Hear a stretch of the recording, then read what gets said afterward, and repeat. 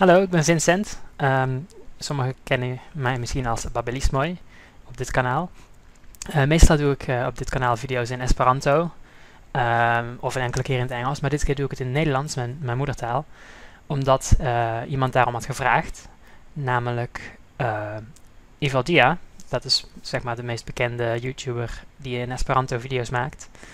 Um, en is ook de oprichter, een van de oprichters van uh, een, een, aankomende app die wordt gemaakt, genaamd Amikumu.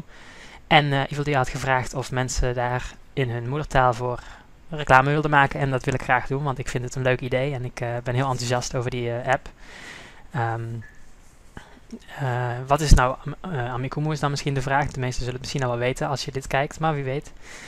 het, is een, het was dus een app waarmee je um, mensen kunt vinden in je omgeving.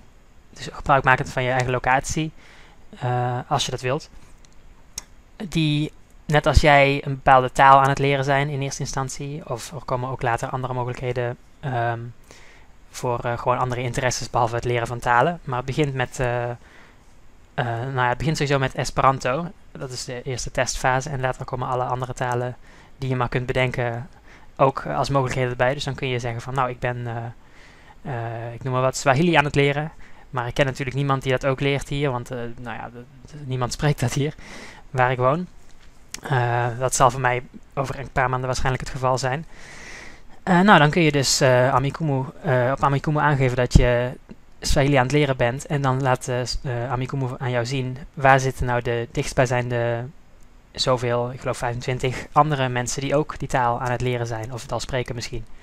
En dan kun je dus op die manier uh, zeg maar heel dynamisch andere mensen vinden om mee te oefenen van die talen. Of als het later dus om interesses gaat.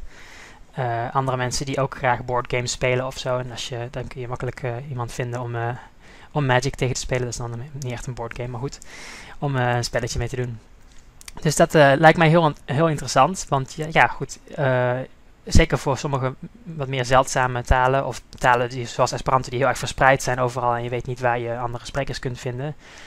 Uh, of mensen die gebarentalen spreken of zo. Het is natuurlijk heel, um, ja, heel handig om op die manier mensen te kunnen vinden die je normaal niet tegen zou komen. Nou, dus ik vind het een heel leuk idee. En ik, um, ik geef jullie graag een link naar de Kickstarter die daar op het moment voor plaatsvindt. De, de, de hoofd, het hoofddoel van die Kickstarter is al behaald, maar er zijn nog steeds uh, stretch goals die uh, hopelijk ook nog gehaald kunnen worden. Dus nou ja, dat was het eigenlijk. en um, ja, nou, dus uh, denk er alsjeblieft over na om, om dat te steunen. Of la laat andere mensen weten over, over deze, dit project, deze app. En bedankt voor het luisteren en kijken. Tot ziens.